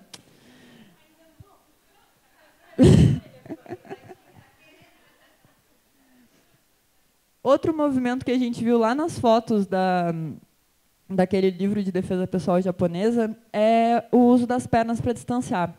Por que, que eu falo do uso das pernas para distanciar o oponente? Porque as pernas, a gente anda com elas. As pernas nos levam para cima e para baixo. Então, por mais que a gente não treine, não pratique um exercício físico, as nossas pernas têm mais força que o nosso braço, normalmente, certo? Então, elas podem ser usadas justamente como uma mola de distanciamento, para coordenar a distância. Outra coisa importante que não está no slide, mas eu preciso falar para vocês, sempre fiquem de frente para o seu oponente, sempre tentem ficar de frente para o agressor. Se a pessoa está andando em volta de você, vocês andam junto. Sempre de frente. E a perna está aqui para isso, para evitar que eu chegue lá, que eu estrangule, que eu tente, de alguma forma, chegar, dar um soco, dar um golpe na Dani. Então, percebe que ela está literalmente usando a perna como um obstáculo para mim.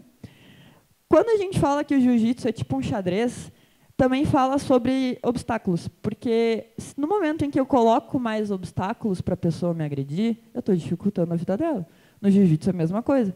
Quanto mais obstáculos eu colocar para dificultar que a pessoa consiga executar uma técnica em mim, melhor para mim, certo?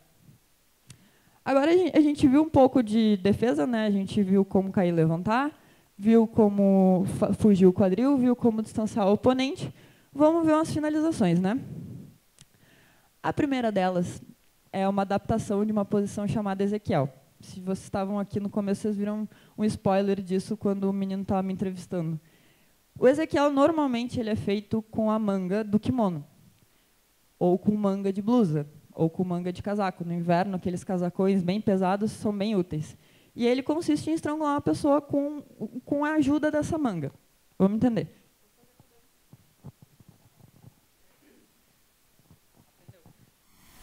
Então, a borrachinha está aqui no meu punho.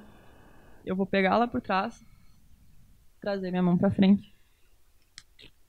Estrangulado. O que, que acontece? Na, na prática, o que, que acontece? O pescoço da pessoa fica nesse espacinho aqui, ó.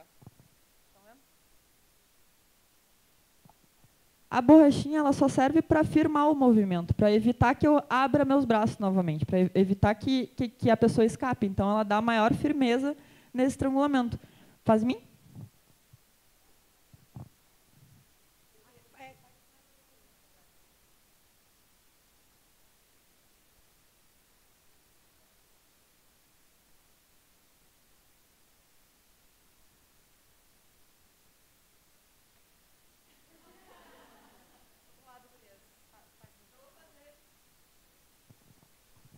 As posições que eu trouxe hoje, elas são posições de dentro da guarda e essa a gente vai fazer de dentro da guarda também, como se eu fosse um agressor, porque essa é uma posição bem comum em casos de agressão sexual. E a gente tem que lidar com isso então.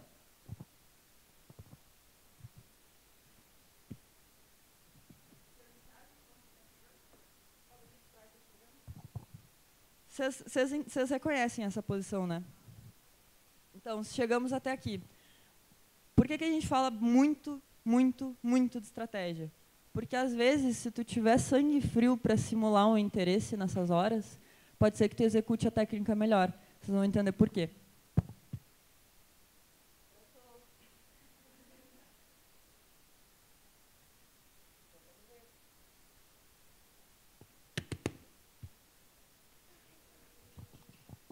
É com a própria camiseta que a gente estrangula. Vou fazer pelo lado de cá.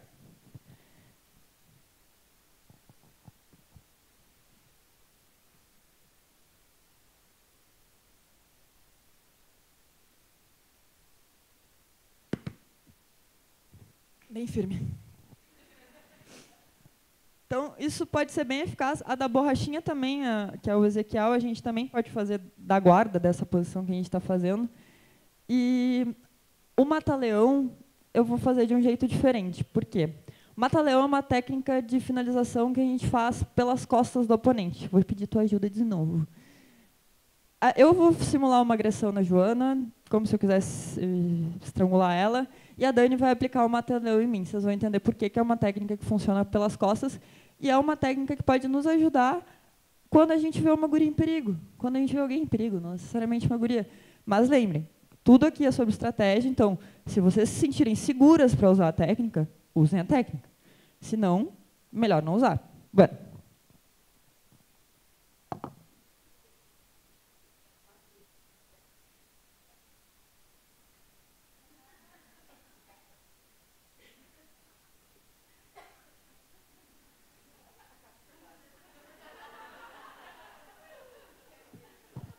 O que, é importante no Mata-Leão? Que eu vou fazer aqui na Dani agora para a gente... É fítio? Tá, de novo então.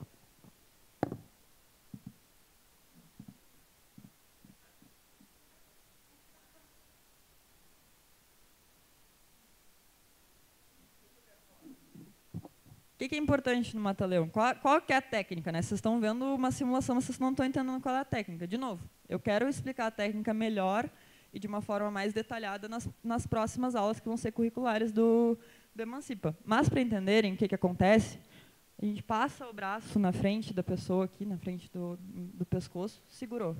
Depois, passa a mão por trás e reduz o espaço. Se tossiu é porque pegou, basicamente. Se continuar segurando, desmaia. Se insistir, pode causar uma fatalidade. A gente viu isso acontecer semana passada. Então, tudo isso que a gente está falando, o jiu-jitsu, a gente está rindo, a gente está se divertindo. É a ideia tra trazer uma forma mais leve de ver a defesa pessoal. Mas a gente tem que lembrar que isso aqui são técnicas de uma arte marcial antiga e letal. Então, usem com parcimônia. Vocês querem fazer? Vocês querem fazer junto?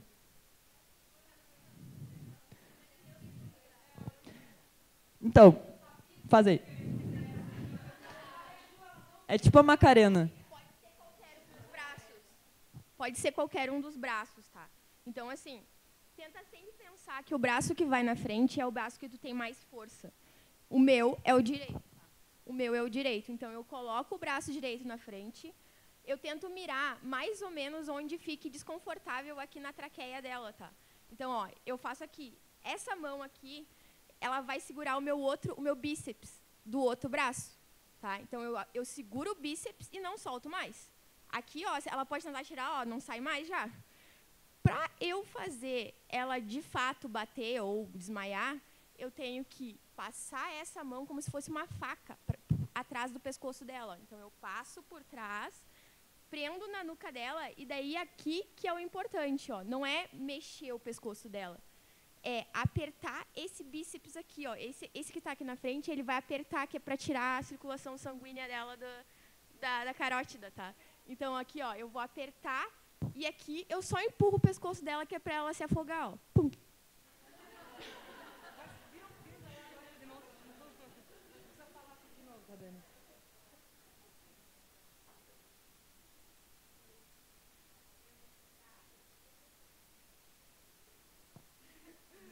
Alguém quer sentir como é que dói? que normalmente as pessoas, nas, nas primeiras aulas de Gil e tal, as pessoas não acreditam muito no que a gente está falando. Então, que alguém, alguém pilha de, de, de receber a técnica, vem cá então. Yay, gosto assim, gosto de participatividade. Pode escolher quem tu quer que faça a técnica em ti. Não tem problema, gente. Eu sabia que o chinelo ia vir em cima do tatame em algum momento. A gente vai fazer em ti e depois a gente tenta te ensinar como é que faz. Pode ser? Vai lá. Passou o braço, segurou o bíceps, passou a faca da mão na nuca, tossiu, bateu. Agora vamos tentar fazer em mim. De, explica aí para ela, Dani. Vai passar. É destra ou canhota? Tá, ela é destra. Então o braço direito dela vai passar pela frente do pescoço tu vai mirar mais ou menos onde pega aqui, ó, no, no gogó que a gente chama, tá? Abraça teu bíceps esquerdo. Agora passa com uma faca por trás, aperta esse bíceps assim, ó. E empurra.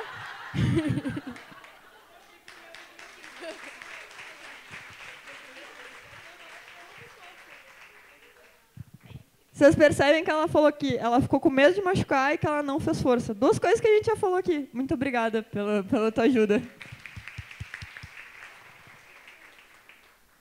Porque é isso, gente. Jiu-jitsu não precisa de força. É isso que eu estou tentando falar desde o começo. É por isso que eu acho que o jiu-jitsu é a melhor ferramenta possível para a defesa pessoal. Passamos no Mata-Leão. Eu vou, a, ideia inicial de quando a gente falou da parte prática da aula era até ser em vídeo. Mas não aconteceu. Daí a gente colocou aqui Uber Situations. Por quê? Em primeiro lugar, porque quando a gente fala de Uber, tem uma dica, um macete que ele é muito importante. Sentem atrás do motorista. Sempre. Atrás do motorista, ele não vê os nossos movimentos, ele não vê em que, que a gente está mexendo, ele não vê para quem que a gente está mandando mensagem, ele não vê. E ele também não vê que a gente pode dar um golpe nele se a gente precisar. Outra coisa importante sobre o Uber: carro é arma. O carro é uma arma.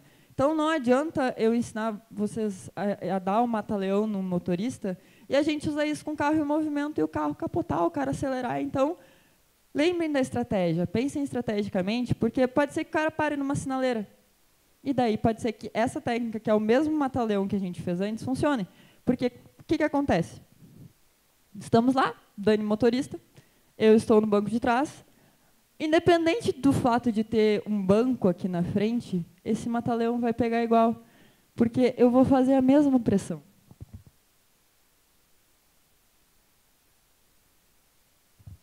por mais que o banco esteja no meio do caminho, a pressão do bíceps junto ali um com o outro, essa, essa pressão de juntar braço com braço, vai ser eficiente igual, porque a mão vai entrar atrás da nuca igual, então só vai ter um detalhezinho ali. Então, de novo.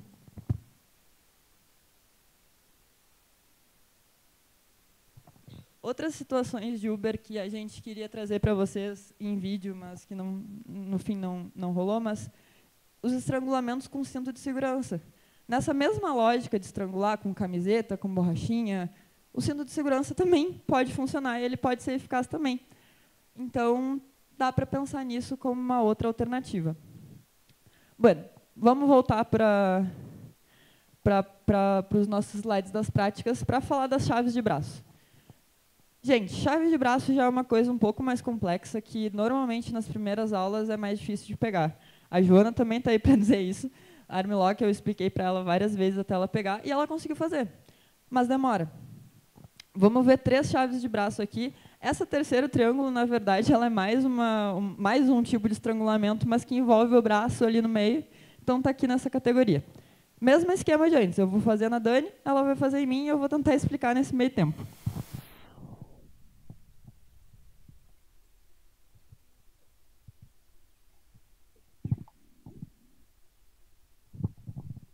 Por que, que eu trouxe essas posições de guarda? Porque é a posição que a gente se vê num, num caso de violência sexual. Então, pensando que a pessoa já está aqui, a primeira posição que eu vou fazer é a Kimura. Kimura é uma chave de braço que pega no ombro e pega no cotovelo. Envolve eu decidir que braço eu quero pegar, me sentar, pegar no meu próprio punho, ó, é no meu punho que eu estou pegando, e eu volto direcionando o dedão da pessoa para a nuca dela. Não tem força, não tem força, não tem, não tem nada além de jeito. Para outro lado.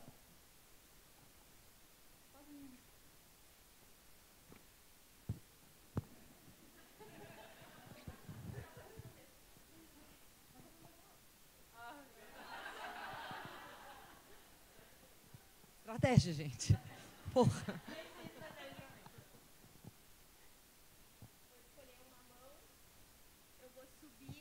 Eu vou abraçar o braço dela por fora. Então eu faço um arco por fora do, do de preferência coloca essa essa parte do braço aqui, essa faca que a gente chama, embaixo do, do cotovelo dela. Ó. E daí aqui na mão direita eu vou segurar o meu pulso. Eu volto e jogo o dedão indicador dela em direção à cabeça dela.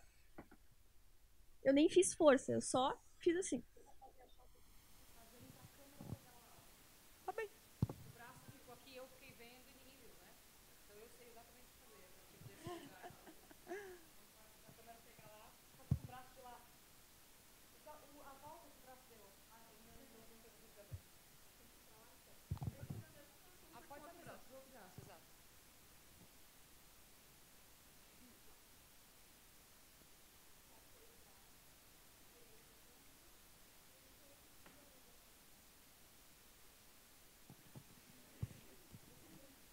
eu sei que é difícil entender no começo, de novo, é por isso que a gente vai fazer mais aulas, porque, enfim, é, são técnicas que não exigem força, só jeito e técnica. E para dominar a técnica, a gente precisa treinar, treinar, treinar. Tá aí a Dani faz três anos faz jiu-jitsu, estou eu aqui há cinco anos fazendo jiu-jitsu. Essas são técnicas que a gente pega nos primeiros seis meses de aula. Então, é isso, gente. Vamos fazer agora armlock e triângulo.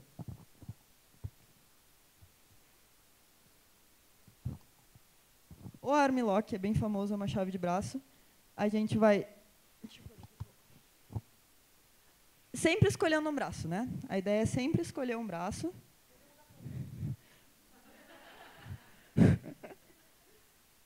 Escolhi o braço, segurei. Essa segurada aqui é muito importante. Então, a pegada tem que ser firme. Não é assim. É assim. É firme. Eu não quero que ela puxe o braço. Principalmente se a gente estiver falando numa situação de agressão, isso tudo vai ter que acontecer bem rápido, né? Segurei o braço. Vou soltar o microfone agora, gente. Isso. Boa. Segurei o braço. Passei a mão aqui embaixo da perna para me ajudar a me puxar. Passei a perna por cima. Levantei o quadril.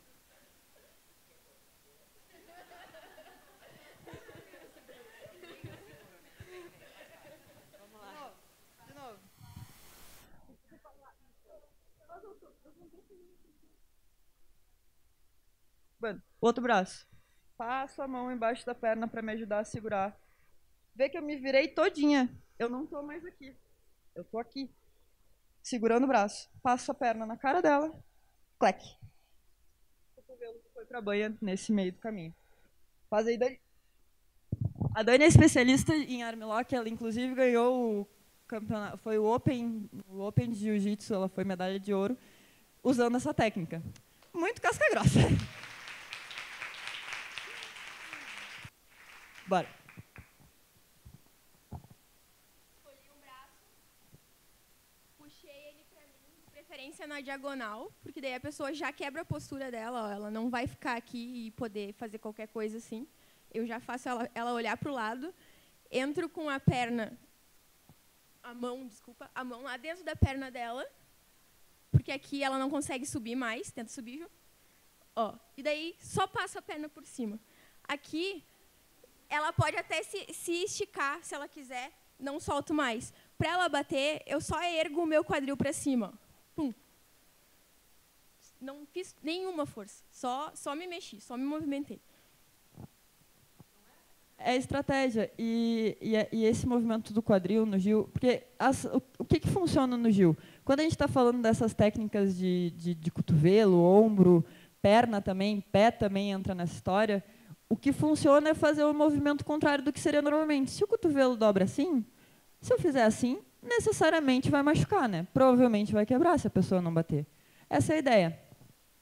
O último movimento que a gente vai fazer, que ele está na categoria de chave de braço, mas na verdade ele acaba sendo um, um tipo de estrangulamento que causa uma asfixia, é o triângulo. A Dani vai fazer aqui em mim.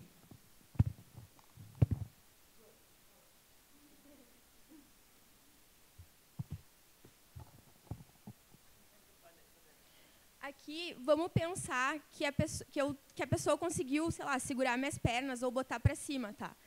A intenção de vocês é conseguir passar uma para fora. Se vocês estão com uma perna para fora, vocês agarram o braço contrário da perna. Então, se é a perna direita, tu vai agarrar o braço que está na diagonal da perna direita. E tu vai puxar. Puxou, passou a perna lá em cima. Ó. Ela tem que ficar em cima do, do ombro dela e, e, e, e na diagonal, assim, ó, uh, paralela, de, desculpa. Então, eu vou agarrar a minha, a minha canela e vou passar. Opa, desculpa. Ossos do ofício, não é mesmo? Se tiver uma pessoa do lado, eu me já dá um chute. Ó.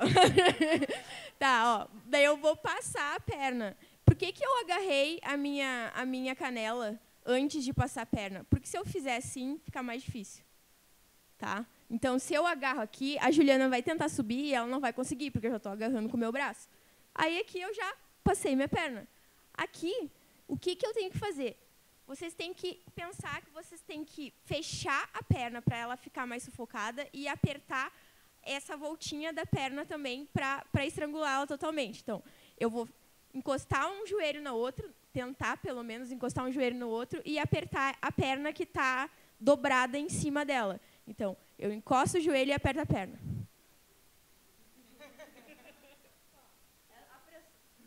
A pressão que essa, esse tipo de estrangulamento dá é insuportável. Não, não tem como tu, tu resistir muito tempo. Se resistir muito tempo, consequentemente vai dormir. Acontece muito na academia. As pessoas realmente desmaiam com o triângulo, porque tentam resistir, não conseguem, dormem. Então vou fazer na Dani também para vocês darem uma olhadinha.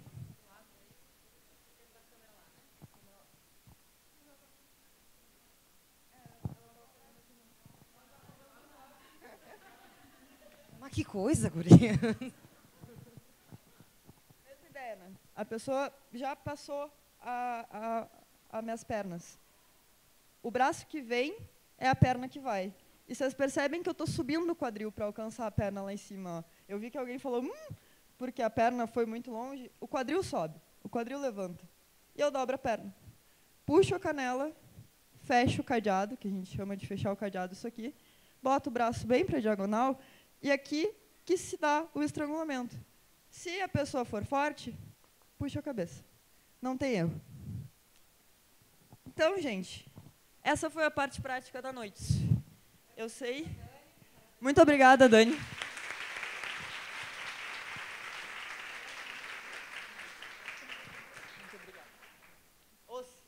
Os. Então, isso foi a, a nossa parte prática da noite. Porque. Ai, não, eu esqueci de uma coisa muito importante. Que é a chave de, de, de mão quando a gente puxa o cabelo. Puxão de cabelo, né? Importante, né? Eu... Então, vou fazer só mais essa técnica. Eu posso ficar com o microfone na mão, na verdade. A Dani vai puxar meu cabelo. Pode, pode, pode, pode ficar tranquila que eu domino tudo aqui. Puxa lá. Primeiro lugar, dominar a mão que está puxando bem próxima da onde ela está puxando. E dobrar para trás. Dobra a mão para trás. A pessoa senta, a pessoa abaixa, porque esse movimento não é natural. Isso aqui a gente chama de mão de vaca. Então a pegada é próxima do punho que está tá segurando o cabelo. Vou fazer para todos os lados. A pegada é isso aqui. E dobra para baixo. Beleza? Eu sei que na, nesse primeiro momento. Depois da aula, a gente pode também. Eu posso mostrar as técnicas mais próximas, de, mais próximas de vocês para vocês entenderem. Agora sim, muito obrigada.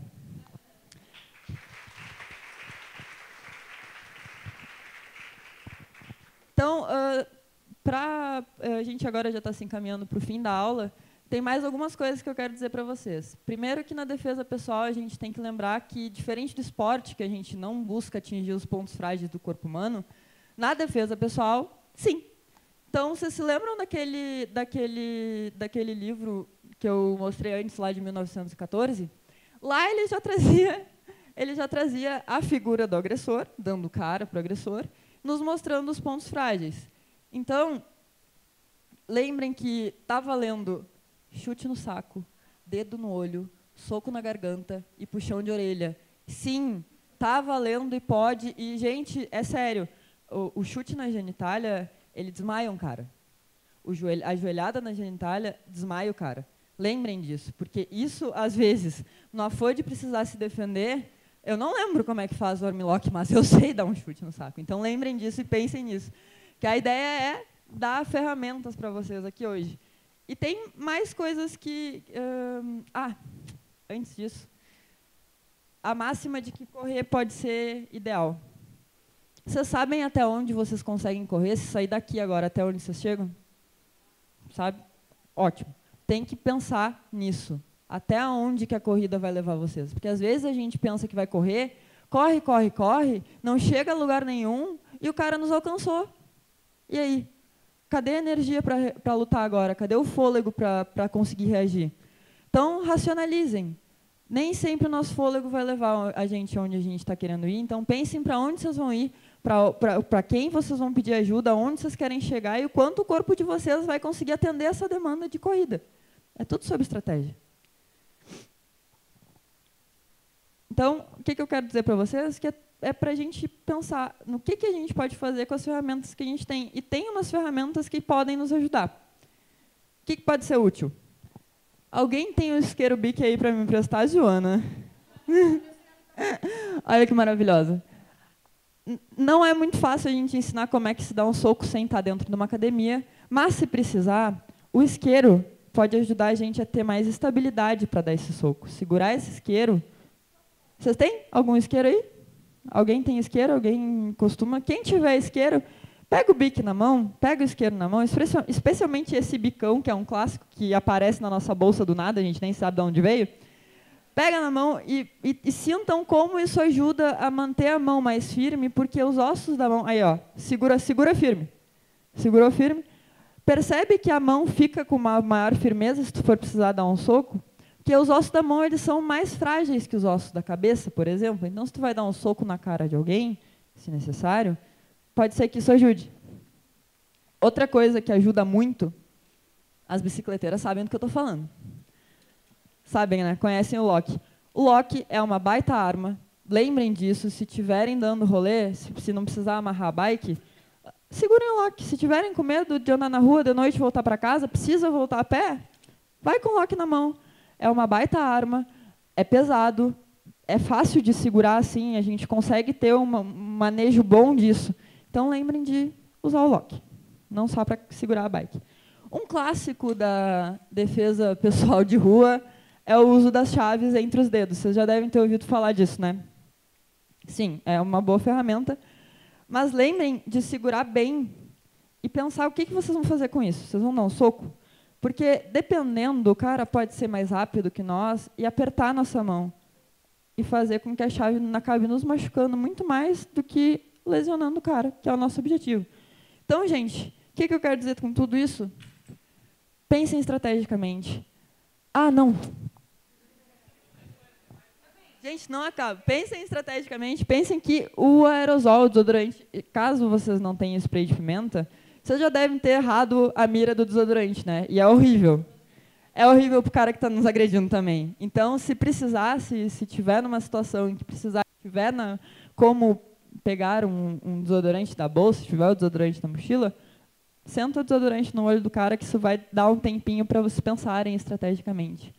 Guarda-chuva também pode ser útil, não só como bastão, mas também como uma forma de manter o agressor distante. Nessas posições de guarda que a gente fez antes, guarda-chuva pode ser uma forma de tu afastar a pessoa, de tu se defender, então, não só atacar. Então é isso, gente. O que eu queria trazer hoje para vocês é todas, são todas as reflexões sobre o que, que a gente vai estar tá vestindo, sobre por que, que a gente é socializada para ser mais delicada, sobre como que as feministas de, de, outrora, de outrora conseguiram ver no jiu-jitsu uma forma de pensar estrategicamente. Que é isso que a gente está tentando propor aqui. Tudo sobre estratégia. Tudo que eu estou falando aqui é para ajudar vocês a, na hora de uma agressão, se isso acontecer, ter ferramentas e saber quando usar. Que isso também é feminismo.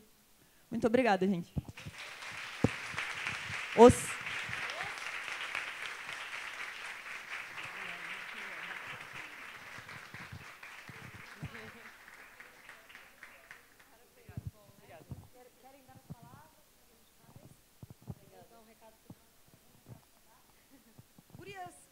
antes de eu to tomar o microfone, já que a gente a gente está com super bem de horário, são 8 e, sei lá, 8 e 10, 8 e 15 agora, é isso, né?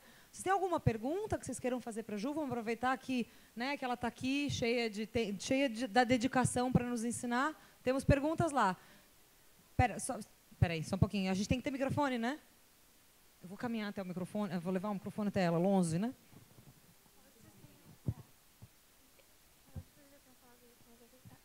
Uh, esses eventos, eu sou Isadora, esses eventos vão ter alguma regularidade? Vai ter de novo? E é para todo mundo, eu posso continuar vindo e não tem custo? Inclusive eu vou passar as datas em breve antes da gente encerrar, tá? Essa é uma aula aberta, justamente para fazer, para demonstrar que como como parte do curso Emancipa Mulher a gente não vai ensinar somente técnica, mas também pensar dessa forma integral. A ideia da aula de hoje é justamente lançar este novo curso de defesa pessoal da Emancipa Mulher, que é com a Juliana, né, que vai acontecer entre abril e julho, num primeiro momento, depois a gente vai divulgar as datas para vocês. E o que a gente pediu no começo, então vou reforçar esse pedido. Está passando uma lista de presença e de contato de WhatsApp. Nós vamos dar como, como as aulas não vão comportar esse número grande de pessoas, a gente vai, assim que as inscrições abrirem, as cursistas da Emancipa Mulher e quem esteve presente nesse evento tem prioridade para fazer inscrições. Lembrando que as vagas são a turma tem a, a turma não, a, a, sala e a Ju sozinha não consegue acomodar muita gente, mas a gente vai ter pelo menos sete aulas entre abril e julho com o, com a intenção de dar sequência. Daí a gente vai ver quando a gente fizer o calendário do segundo semestre, a gente re, reavisa todas vocês a respeito disso, tá bom? E é gratuito. Todos os, todas as ofertas da Emancipa Mulher é, são gratuitas. Esse é um valor que a Luciana deixou bem claro desde o começo, desde a fundação, é educação popular de verdade, então a gente não cobra das cursistas por nenhum dos cursos da Emancipa Mulher, nem o Laudelina de Campos Melo, nem treinamento de professoras que vai ter em breve, nem os painéis e eventos, e esse entra como parte desse pacote. Tá. Mais alguma pergunta? Vamos lá. Estou me sentindo o próprio Silvio Santos. Vamos lá. Como é que é o teu nome? Bruna. Ah, Bom, uh, referente à, à, defesa pessoal, se o agressor tiver qualquer tipo de arma, tipo uma faca, por exemplo, na hora de, por exemplo, uma agressão sexual, essa é a minha dúvida. Obrigada, Bruna. Esse é um problema, né? Porque lembra que a gente aqui, tudo que a gente falou foi sobre a gente pensar o que, que a gente vai fazer com as ferramentas que a gente tem, a gente não pensou na ferramenta do, do agressor. Gente, se a pessoa tiver com uma arma e a gente está só com o nosso corpo, pensem sobre isso e tentem. É muito difícil te dizer exatamente o que fazer. Seria irresponsável te, te dar uma resposta objetiva. Porque naquela hora, se, se ele tiver com uma faca, tu não está com nada. É muito arriscado reagir. Muito arriscado. Mas não, eu também não vou te dizer para não reagir, porque pode ser que naquele momento tu tenha uma ideia e tu possa escapar. Mas é irresponsável te dar uma, uma, uma afirmativa, assim, ó, reage. Porque não, ele está com uma arma e uma arma pode matar. O cara por si só já pode nos matar, né? Então, com uma arma a coisa fica bem mais complicada. A gente tem que pensar que normalmente a gente não vai estar tá com uma arma, então isso tem que ser levado em consideração. O principal que eu posso te falar é tentar pensar naquela situação de uma forma fria e calculista, que é o mais complicado de tudo, né?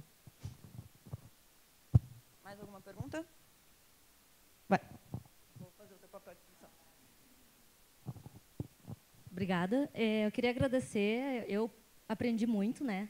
Hoje, pá, fiquei muito, estou muito feliz. E quanto à arma, eu sempre mantive muita distância, que eu andava muito à noite, né? Cuidando para poder correr, já que eu não sei lutar nem nada.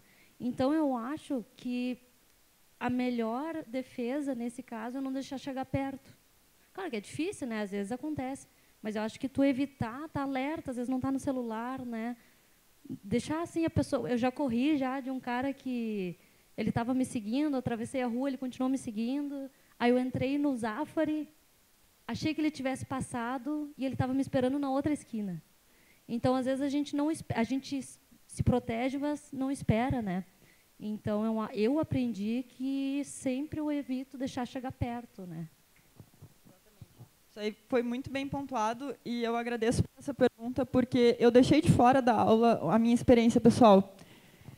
E até porque é difícil falar sobre isso. Mas mais ou menos nessa época do ano passado, que estava rolando a arena feminista, eu fui agredida na rua. E foi mais ou menos nessa linha do cara esperando na, na saída do super. Teve um, a gente teve uma, uma coisa tão fútil, porque ele achou que tinha uma menina furando a fila dele, e eu falei que não, porque eu já estava ali, e eu tinha visto que a menina não, não tinha furado, ela estava só circulando ali pela área do pão.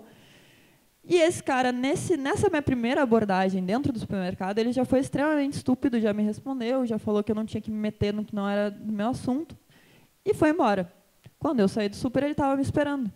E ele foi me acompanhando, me falando muita coisa. Ele me agrediu verbalmente num nível que eu não estava acreditando que eu estava passando por isso. E daí eu resolvi pegar o celular. E até hoje eu me questiono se eu peguei o celular para provar que aquilo realmente estava acontecendo, porque eu não acreditei. Então, esse fator surpresa, esse fator da gente ser pega de surpresa numa agressão, isso influencia muito, porque daí o que, que aconteceu? Eu peguei o celular para tirar a foto dele, para mostrar, para me mostrar até que aquilo estava acontecendo. Ato contínuo, ele tentou arrancar o celular da minha mão. No que eu consegui segurar, porque o jiu-jitsu naquele momento serviu para eu segurar meu celular, ele me deu um tapa e um chute seguido, um do outro. E eu caí. E não consegui fazer mais nada. Gente, no ano passado eu tinha já quatro anos de jiu-jitsu de história. E naquele momento, justamente por essa falta de pensamento estratégico, por, por não, não conseguir pensar, eu fiquei paralisada. Então, por mais experiência, por mais técnica, por mais que a gente se prepare, a gente não está preparado para ser agredido, gurias. Então, é isso que tu falou muito bem. Às vezes, o fator surpresa nos pega desprevenido.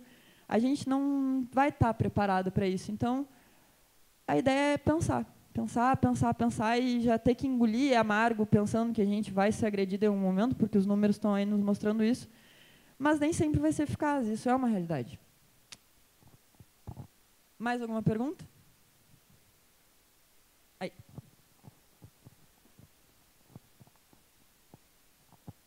Oi, meu nome é Isadora. Queria agradecer também, porque foi bem bom assim assistir todo. Mas eu, eu, queria perguntar, já que a gente falou tanto de estratégia, perguntar dos vídeos e da entrevista que teve, porque daí a gente ficou se perguntando para onde, onde que isso vai parar, uh, pensando em não acessar os caras, né? Tipo, para eles não terem acesso, que eu vi que tu demonstrou na entrevista também. Então, obrigada pela pergunta os caras, eles já têm acesso a isso, né? Inclusive, eles são incentivados a fazer isso. Eles são colocados nas aulas de judô, de muay thai, de boxe. Eles são maioria normalmente na, nas turmas, né? Então, na verdade, o que a gente está fazendo é buscando ter as mesmas ferramentas que os homens são socializados tendo. Então, eles tendo acesso a isso, isso, isso me remete um pouco ao que a gente fez lá no ginásio na época da, das eleições. A gente fez, a, como eu falei no começo da, da aula, a gente fez a aula aberta de resistência e a gente liberou as modalidades. Para ter um pouco de segurança, a gente fez uns pequenos cards de WhatsApp e quem podia ter acesso a essas aulas era quem tinha esses cards. Deu tudo certo, nada aconteceu. Então a gente, eu acho que aqui um evento feito e pensado só para mulher, a gente está segura. Essa entrevista, é, tu, tu, sabe onde é que vai passar essa entrevista? RDC TV. Eu, eu, eu na internet? Na internet. Então, assim, eu acho difícil homens uh, que potenciais agressores quererem buscar uma aula aberta de defesa pessoal como uma forma de aprender as técnicas. Eles vêm na, na ignorância muitas vezes, né? Apesar que esse cara que eu contei para vocês que me agrediu, notoriamente ele, ele tinha conhecimento de Muay Thai. Os golpes que ele me desferiu foram esses. Mas infelizmente é mais fácil que o, o agressor tenha conhecimento de artes marciais do que o agredido, né? Infelizmente vídeo, o vi, o, a entrevista foi gravada e vai também ao ar no Facebook, da, no, ao ar, RDC muito obrigada.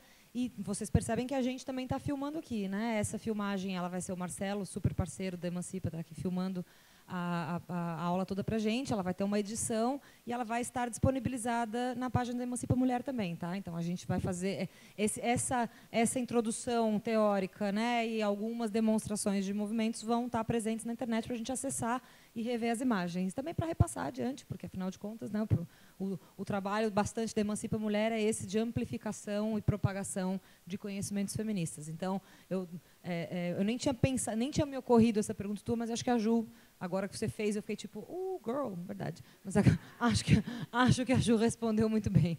É, temos tempo para mais uma pergunta e depois a gente vai fazer aquela foto clássica, todo mundo, mas antes tem que tirar o tatame, né? Senão a Ju me mata. Temos tempo para mais uma pergunta, gente. Alguém mais quer fazer? Aqui, Renata, vamos lá. Renata, ex-cursista emancipa. Na verdade, não é nenhuma pergunta, assim, mas é, eu treinei Muay Thai há algum tempo. E eu lembro que em algumas aulas os professores falavam, tipo, enfim, mais um recado que eu queria dar, acho que é para a gente procurar lugares seguros para treinar, porque tem muito lugar que tipo os professores na minha época falavam muito, ah, pensa naquela guria enquanto tu tá treinando, tipo, ah, pensa naquele cara, no teu namorado que tá dando trela para outra guria. Então assim, procurar lugares seguros em que a gente se sinta, né, uh, é confortada e segura, como o pessoal do, de onde a Ju faz, uh, Gil fez.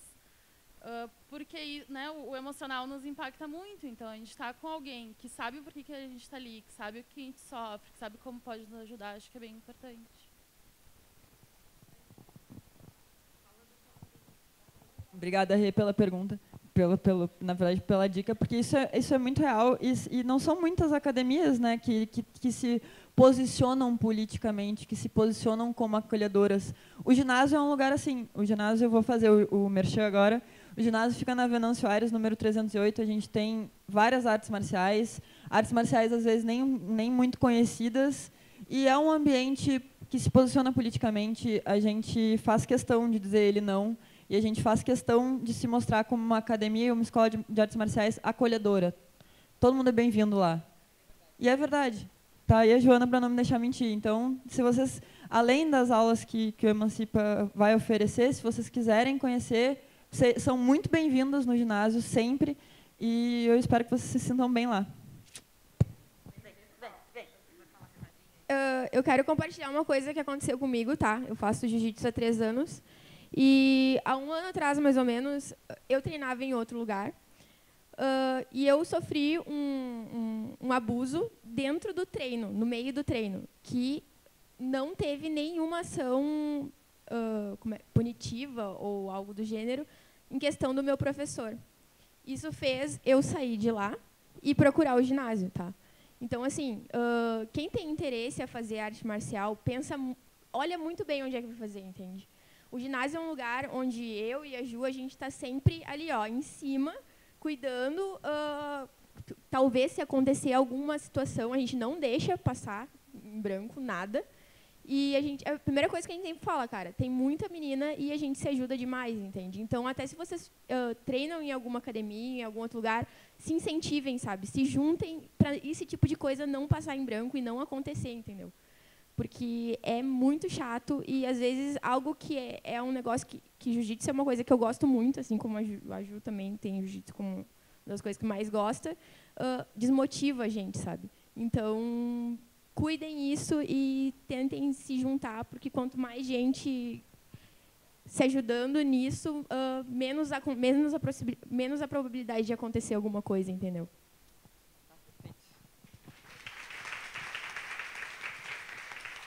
Bom, vocês, eu acho que ficou bastante, bastante claro, bastante evidente o que a gente quer dizer com pensar com estratégia. Né? Então, não é só aprender um movimento ou dois, mas é pensar de forma integral a respeito de tudo que a gente pode fazer para se defender ou para sair de uma situação é, de violência. Eu queria mais uma vez agradecer a Ju e a Dani por terem vindo aqui. Foi um prazer ter trabalhado com vocês na construção dessa aula. A gente ficou sábado a tarde inteira lá em casa, finalizando nós três, montando a aula. E foi muito, é, foi muito divertido. E a gente tem pensado bastante nisso na Emancipa. Né? Como eu falei, Emancipa não é somente uma escola, também é uma maneira de fomentar a comunidade, comunidade entre mulheres, para que a gente se fortaleça entre nós, para que a gente crie rede de apoios entre nós, porque o empoderamento ele não é nada, ninguém empodera ninguém, percebe? Ninguém tem, ninguém consegue empoderar outra pessoa. Não posso agora você está empoderada. Não existe isso. O empoderamento é uma conquista, ele é uma conquista, ele, é, o empoderamento ele precisa ser social e coletivo para que todas nós nos beneficiemos disso, mas existe um exercício da gente também,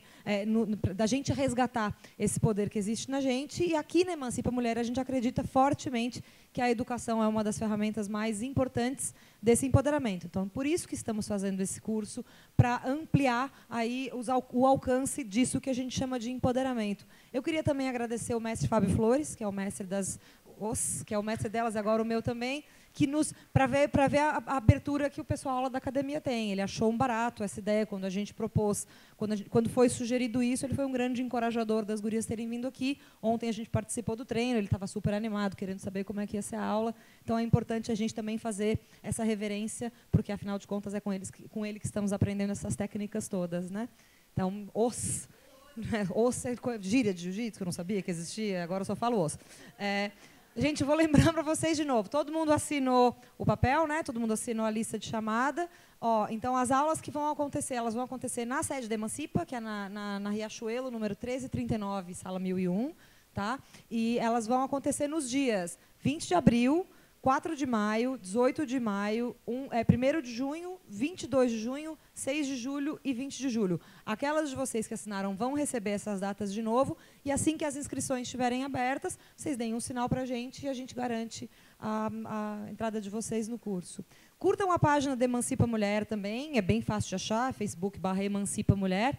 E antes de finalizar a nossa aula, eu preciso dar um recado que o Clóvis, que é o diretor aqui do Teatro da Arena, de Arena que sempre nos recebe muito bem, esse já é, sei lá, o quarto, quinto evento que a gente faz aqui, né? vai ter outro em março, teremos um outro evento sobre machismo e assédio, que vai acontecer aqui em março, dia 27 de março, vai ser uma aula aberta comigo e com a Nina Becker, que é professora do cursinho Emancipa. A gente vai falar sobre machismo e assédio, mesmo esquema, aula gratuita, aberta ao público.